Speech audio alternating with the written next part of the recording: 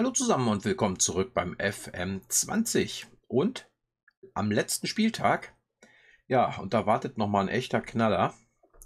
Wir spielen nämlich gegen Dulwich Hamlet. Wir sind Erster. Ja. Die ersten drei haben 74 Punkte. Ja, da wissen wir schon, was uns erwartet. Bei uns geht es um, um nichts mehr. Wir können zwar noch auf den 14. abfallen, aber das war es dann auch. Ja, Charlie Hicks verletzt. Hm, und ich habe ja noch was hier nachzuliefern an Spielen. Ja. So. Jetzt muss ich gerade überlegen. Maidstone war das letzte Spiel, genau. Ja, gegen Chelmsford ein 3 zu 1 Sieg. Überragend. Joe Thompson mit zwei Buden. Und Charlie Hicks auch noch. Hm. Interessant bei der Begegnung war, die sind 1-0 in Führung gegangen. Genau, wir haben ausgeglichen und dann hatten die noch, Entschuldigung, einen Elfmeter, den unser Torwart gehalten hat. Ja, das war so das Interessanteste. Dann ging es gegen Chippenham. Ja. Thompson und Owosu getroffen. Ja, auch souveräner Sieg gegen den Vorletzten. Genau, das war der Vorletzte. Äh, hätte höher ausfallen können, aber es war auch nie gefährdet. Ne? Wie gesagt, nach 26 Minuten war der Drops schon gelutscht. Ja. Und jetzt halt das letzte Spiel gegen den Tabellenführer. Und auswärts noch. Also wenn das nicht mal ein echtes Highlight ist. Hm. Was bleibt noch? Ja, einfacher Sieg zum Saisonabschluss für Dulwich Hamlet erwartet, ja. Wäre schön, wenn wir ihnen einen Strich durch die Rechnung machen würden. Hm. Taktik. Wie gesagt, Hicks müssen wir ersetzen. Der fällt noch zwei bis vier Wochen aus. Ja, McLellan vorne wieder drin. Hat ja schon ewig nicht mehr getroffen. Schauen wir mal. Hm, McAkron gerade hat eigentlich auch ein Formtief könnte ihn zwar noch mal was sagen hier. Können ihn kritisieren. Hoffentlich nützt es was. Und ansonsten, wie gesagt, Ovoso momentan, der hat echt einen Lauf. Deswegen steht er auch hier, weil Rowe auch total am Schwächeln ist. Seht ihr hier die letzten Spiele. Absolut Katastrophe. Gut. Hm, ja, soweit, so gut. Ja, Joe Thompson, wie gesagt, vorne drin. Ne? Fünf Tore gemacht in der kurzen Zeit. Top. So.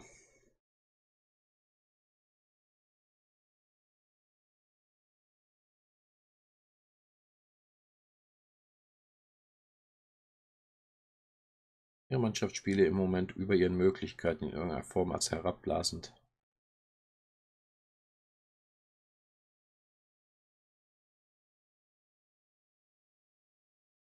Ich glaube nicht, dass wir über unser Leistungsvermögen spielen. Ich habe einen sehr talentierten Kader.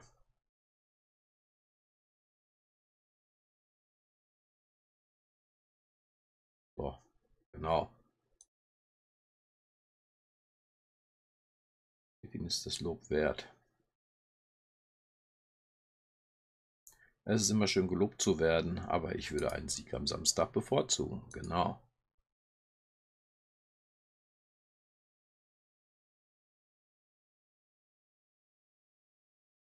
Eddie Oshodi. Das war auch so der Knaller schlechthin, dass wir den geholt haben. Und die Spieler gleich noch irgendwas von mir erwarten. Dass man noch eine Ansprache gibt? Ich glaube nicht, ne? Es geht ja um nichts. Wir sind ja im Tabellen-Niemandsland. So, Hinspiel. Ort, wir hatten sogar das Hinspiel gewonnen. Schlecht. So. Zum Spiel. Jawohl. Es ist schlecht, dass wir das Hinspiel gewonnen haben. Jetzt weiß ich gar nicht, was ich denen noch erzählen soll. 4-3-3. Na, zick die Maus jetzt hier rum.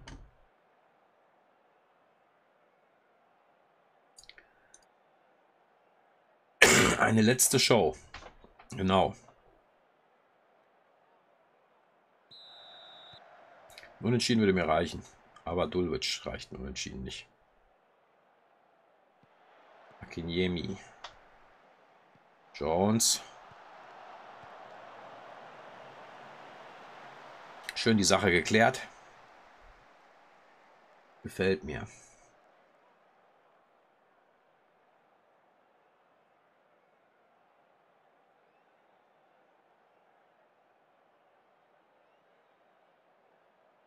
ordentlich Ballbesitz. Es ist schlecht.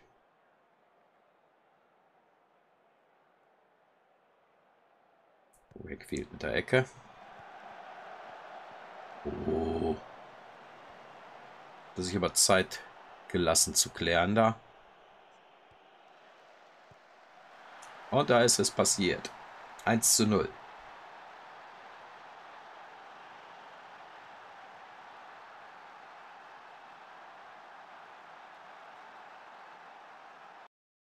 So. Wir wollen ja ein bisschen gegenhalten. Ich glaube, wir pressen noch stärker. Und nach Möglichkeit weiter vorne.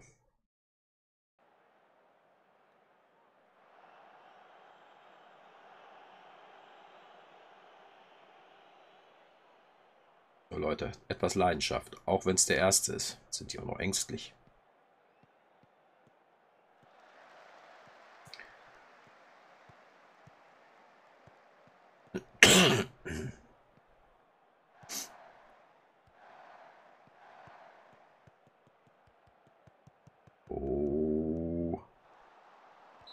Festhalten. Wenigstens zur Ecke geklärt.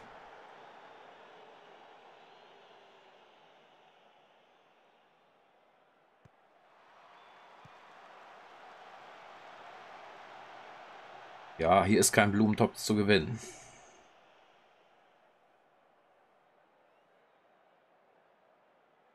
Jetzt vielleicht mal Freistoß von Jefford. Ne. Bringt uns nur Konter ein. Da ist Akinyemi wieder. Zurück auf O'Sullivan. Aber King hält. Sehr schön.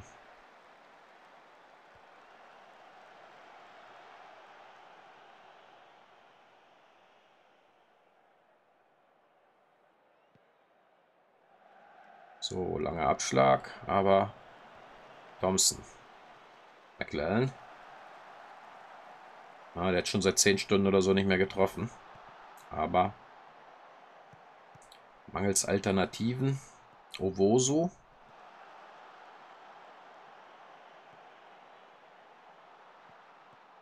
Bringen sich höchstens selber in Gefahr. Oh, da ist McCoy wieder. Wird nicht richtig angegriffen.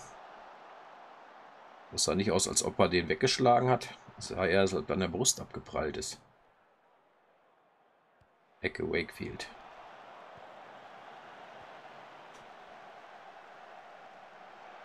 Aufpassen, Chapman.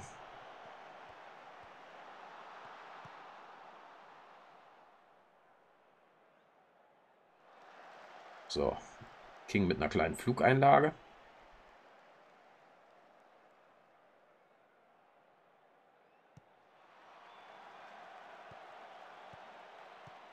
So, Jones. Ashby. McAkran. Ovoso. Kriegt er noch? Schade. Ovoso nochmal. Thompson? Jawohl, da ist er. Joe Thompson. Schöner Abwehrfehler. Und Thompson nutzt den sofort aus. Nicht schlecht. Da kriegen sie den Ball nicht richtig weg. Dann O'Sullivan mit einer Rückgabe zum Torwart. Und direkt bedankt sich Thompson. Sehr schön. Das Schöne ist, die werden jetzt garantiert nervös. Das könnte uns in die Karten spielen. McLaren. Immer noch McLaren. Thompson. Schade. Muss aufpassen. Uh, der ist schnell, Musa. Aber King hat schön zugemacht. 17. gelbe Karte für Rhino Sullivan. Nicht schlecht.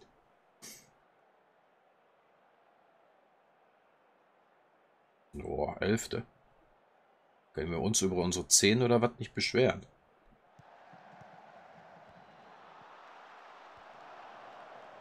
Weg damit.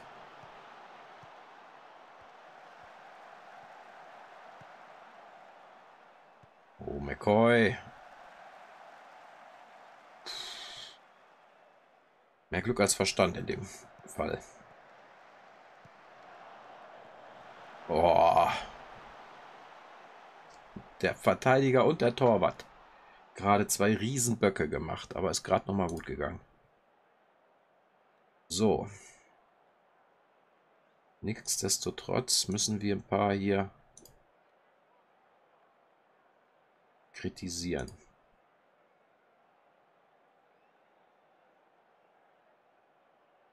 So, aber sonst... Wo so gebe ich noch ein paar Minuten. Der hat noch Bonus aus den letzten Spielen.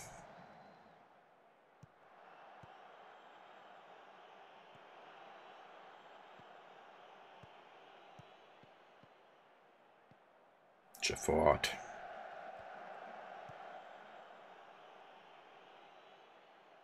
Schön immer draufgehen, so ist fein.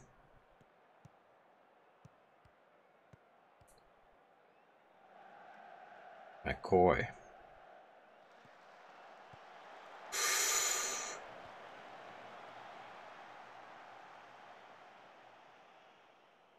Freistoß. Jefford. Oh! Kein Abseits? Meistens ist doch sowas Abseits. Geil. Geiles Ding. Den hat er unter die Latte gesetzt, ne? Ne, der Torwart hat ihn unter die Latte gelenkt. Dann kriegt der Abwehrspieler ihn nicht weg und Lucas Murray macht seinen ersten Saisontreffer. Unser Innenverteidiger. Sehr schön. Jetzt kriegen sie richtig Panik. Jetzt brauchen die schon zwei Tore, um aufzusteigen. Geil.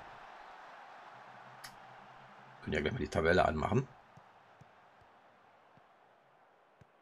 Jefford, langer Ball. McLaren. Oh. Ein Tacken schneller, ey. Jones. Ostler zurück.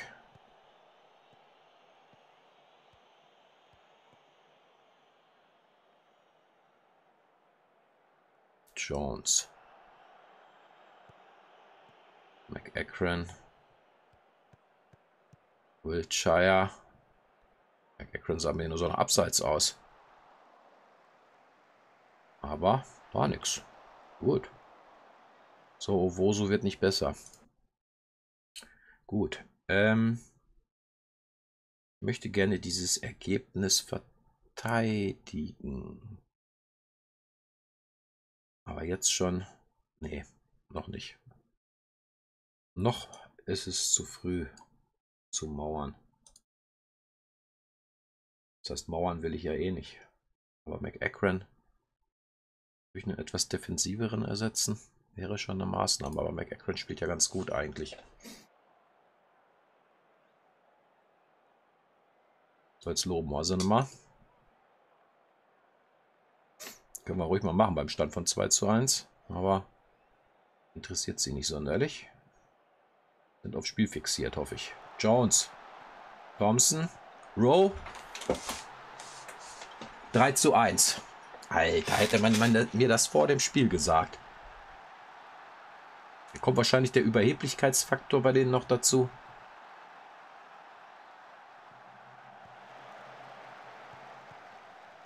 Und Rowe natürlich seinen ganzen Frust über seine letzten Einsätze als Einwechselspieler.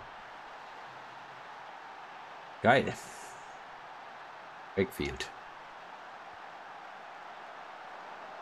Ich glaube, das schreit auch noch nach einem Platzverweis bei den Gegnern. Irgendeiner fliegt da garantiert noch vom Platz.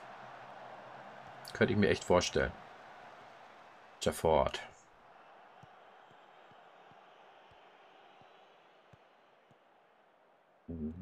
McCoy. Oh, Jones gerade noch so dazwischen gegangen. Sullivan. McCoy. Akinyemi drüber. Sehr nett.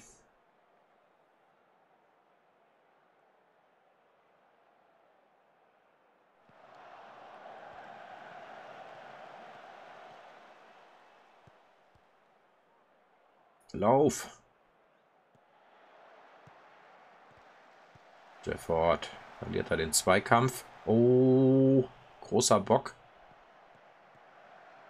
Aber mit viel Glück sind die nicht zum Abschluss gekommen. McCoy. Wobei, so. Wir haben jetzt Zeit. Wir machen jetzt erstmal noch einen Wechsel und dann machen wir noch einen Wechsel. Ähm, ich würde sagen, spielen echt alle gut, außer Eddie Jones. Jeff Ford, 73 Prozent, aber wir haben keinen linken Verteidiger dabei. Äh,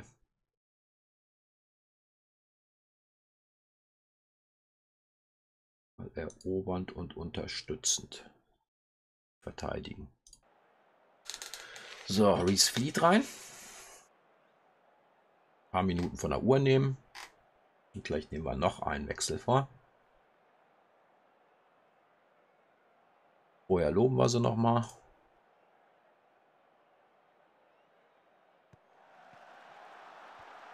Oh, oh, oh. Wiltshire, Rowe, Thompson. Rowe. Ah, Rowe verliert den Ball, aber Jefford ist da. Jetzt flieht. Schlechter Pass.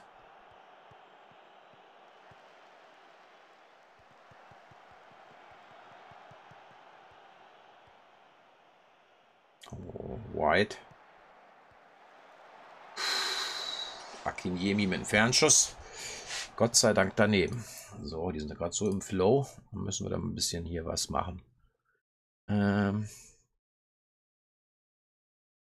was für Möglichkeiten haben wir noch? McLellan wird wahrscheinlich heute auch wieder nicht treffen. Da bringen wir dann Brown.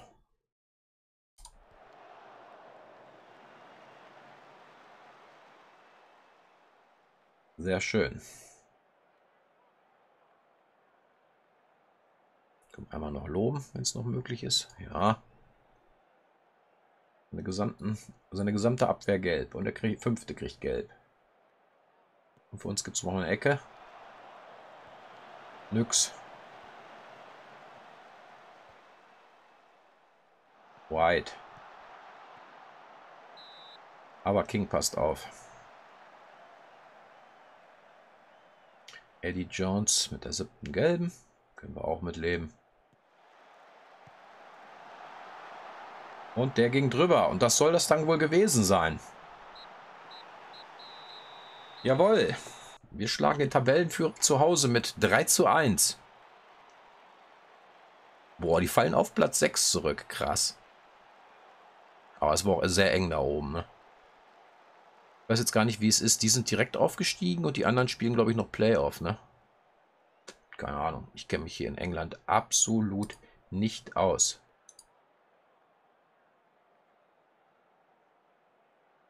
Keiner hat mit uns gerechnet und ihr habt großartig gespielt.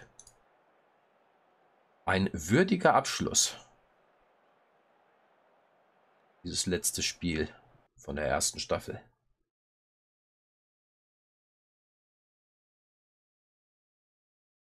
Glanzvorstellung von Thompson, den habe ich erst beim letzten Mal gelobt.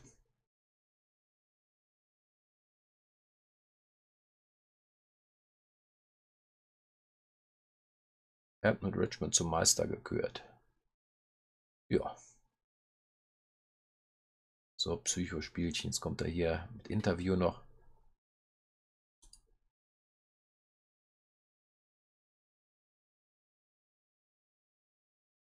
So. Das sollte es eigentlich im Großen und Ganzen gewesen sein hier. Uns ist die Saison schon Ende April vorbei. Was haben wir hier noch? Auszeichnung am Ende der Saison.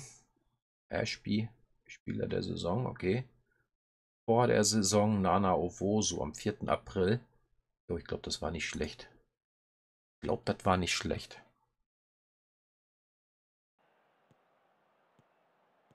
So, nochmal schauen. Hicks. Jo, das Ding. Kurz vor, ja genau, 89. Minute, 90. Minute. Bam. Aber ich glaube, das habt ihr ja auch. Ich glaube, das habe ich sogar live gezeigt, das Spiel, oder? Ja, ich glaube ja. Ja. Neuzugang der Saison. Hicks, ja, der war in Ordnung. Ja, Talent der Saison. Ashby ist klar. Saisonrückblick. Nur wenige haben uns den Klassenerhalt zugetraut. Die Erwartungen wurden jedoch übertroffen und wir hatten sicheren Mittelfeldplatz. So. Ähm. Ich bin nicht dabei, Leute.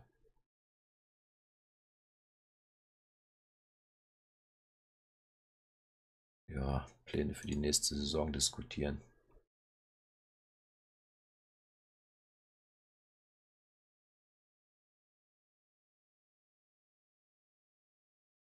Ja, die Saison ist zu Ende. Es ist Zeit, sich auf die Zukunft zu konzentrieren. Wir können nächstes Jahr im Abstiegskampf stecken. Ihr müsst hart kämpfen, um drin zu bleiben. Ja.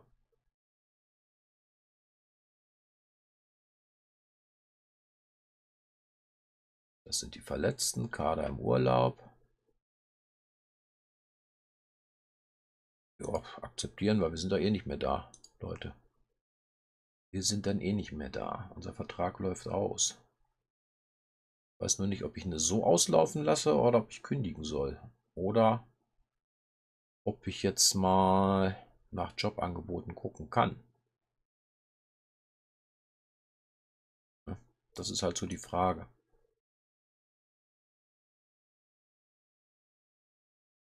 Zwei Jahre früher als geplant. Oxford City hat sich bereit erklärt, in der kommenden Saison das Stadion an der York Road zu mieten. Aha, das Court Place Farm Stadium, in das der Verein derzeit eingemietet erfüllt die Mindestanforderungen nicht. Das Stadion an der York Road in Maidenhead wurde 1871 Stadion bietet 4500 Zuschauern Platz. Aha. Okay. Ziehen die mal eben um. McLellan sind neuer Mannschaftsrekord, 10 Tore. McEachran, 7 Vorlagen. Okay, es ist hier noch nichts erreicht, groß. 11 weiße Westen. Vom Torwart. Aber sonst sollte das eigentlich alles gewesen sein. Sehe ich hier noch irgendwas? Oh, wir sind sogar Zwölfter geworden.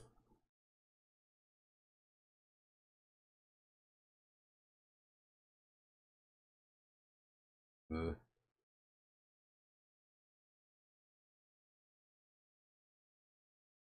Übersicht. Der Saisonverlauf, ne? Ne, das ist auch nicht. Ja, ist auch egal. Sind wir noch irgendwo gestiegen? Bei den Werten sehe ich jetzt nicht so. Warum auch?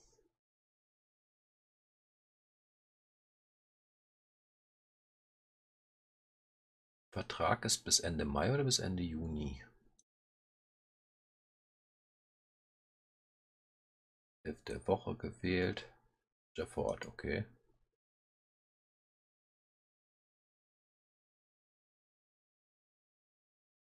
Vertragsinfo. Ende Juni. Naja, man kann sich ja schon vorher wo bewerben, ne?